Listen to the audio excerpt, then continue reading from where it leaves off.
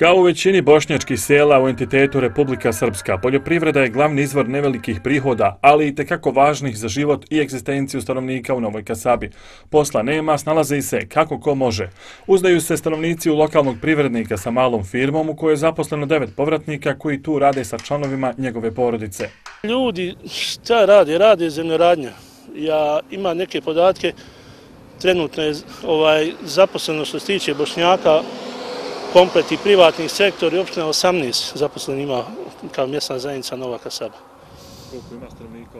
E, stanovnika imamo negdje 84 porodice, a oko 200 stanovnika koji stalno žive, ovi povremeno koji dolaze i odlaze tu. Znači, nikad ne znamo tačne podatke i tako.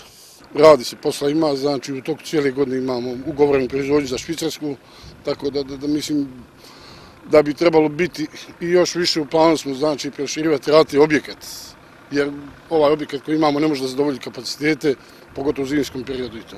Priča o borbi za bosanski jezik i obrazovanju bošnjaka u Novoj Kasabi odavno je poznata. Vehi Dedić iz Konjević polja od početka je u savjetu roditelja koji se bore da njihova djeca uče bosanski jezik. Rješenje edukativnog centra je privremeno, ali će trajati koliko bude trebalo. Radi po svim propisima i roditelji su zadovoljni. Mada tjelesni odgoj izvode u malom parku tik do ovog centra, a u njemu se školuju djeca iz različitih sela i zaselaka. Mi smo jel, pokušali onaj da e, razgovaramo sa našim jel, političarima gore i sa e, predstavnicima u Rijasutu, znači onaj što našim e, rejsom uvaženim ovaj, Huseinom Efendijom, e, tako da smo došli na ideju da, jel, da djeca dođu, ovaj, pošto je ovo objekat e, islamske zajednice, pripada Međulisu Vlasinca, nalazi se na prostoru mjesne zajednici Kesaba i tako da su nam oni ona jelo stuplo ovaj objekat da naše djeca ne gubi onaj nastav. U Novoj Kasabi su obnovili gornji sprav dama kulture, a sada žele zaštititi zidove nekadašnje kino dvorane. Pored toga, fokus im je i na mostu koji se nalazi na ulazovo mjesto.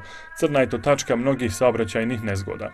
U zadnjih mjesec, dva, tri nekog udesa je bilo Mi smo ispred savjeta mjesne zajednice uputili dopis opštinskih službi nadležnoj za ovaj most i oni su prosledili dalje putem RS-a i mi upućujemo ovim putem poziv i apel da ovaj nadležni izađu i da rekonstruišu jel ovaj kuća u, u, u kritičnom stanju. Svaki sljedeći kiša auta lete i direktno u kuću. Znači, dešavalo je se i bila je situacija kada je žena morala i da hitne da završi od straha i onoga. U Novoj Kasabi sve je manje stanovnika. Traže posao u drugim mjestima i zemljama. Ovi koji su ostali još uvijek vjeruju da će se nešto ipak promijeniti na bolje.